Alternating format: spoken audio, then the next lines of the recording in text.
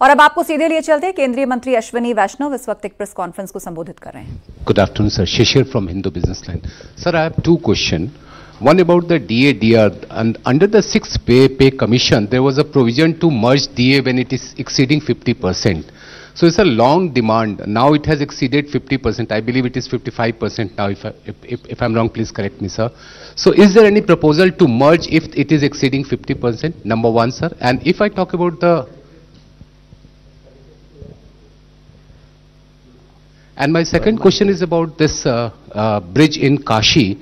Will the route be the same like what we have from the Prayag, uh, from the Mughal Sarai to uh, Varanasi? Will the it will be same, sir? उसका नाम change होके दीनदयाल उपाध्याय हो चुका है हाँ sir वो sir नाम अब- अभी भी मुगल सराय चढ़ा हुआ है सर माफ़ी चाहूँगा मैं थोड़ा थोड़ा चेंज कर लो ठीक है। आ, पहले प्रश्न का जवाब मैं आपको और जानकारी लेके दे पाऊँगा एक्सपेंडिचर से आए आप इस पे जवाब देना चाहिए आए ही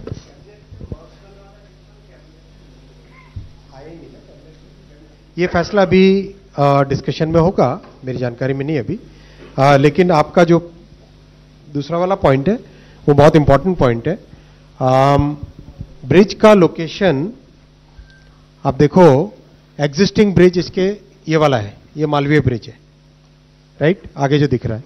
इसके बिल्कुल पैरेलल नया ब्रिज बन रहा है। So the route will remain the same but क्या ध्यान रखा गया है जो इस वाले में आपको दिखाई देगा। बेसिकली आप देखो, गंगा जी के पास में जो एरिया है, वो काफ़ी एक शैलो फ्लैट बेड जैसा है। और जब गंगा जी में पानी ज़्यादा आता है, तब इसमें पानी स्प्रेड आउट होके एरियाज़ में जाता है। तो उसमें क्या होता था कि traffic use to get disrupted so what we have designed in this is about a 15 kilometer stretch in which both sides of the bridge we keep the continue the higher level of bridge, higher level of construction and take it about 11 kilometers on both on the Prayagraj side and then make a rail flyover. जो पुराना वाला railway line है उसके ऊपर से flyover लेके then we give the connection आप mind में पिक्चर बना लिए होंगे इसका आ, इस वाले में क्लियर दिखता है क्या दूसरी वाली साइड दिखेगा। इस वाली साइड तो करीब करीब स्ट्रेट फॉरवर्ड है।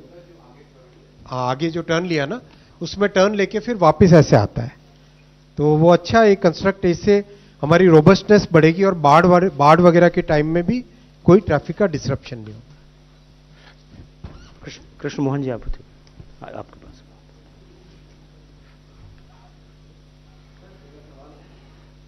अपना परिचय दे दें।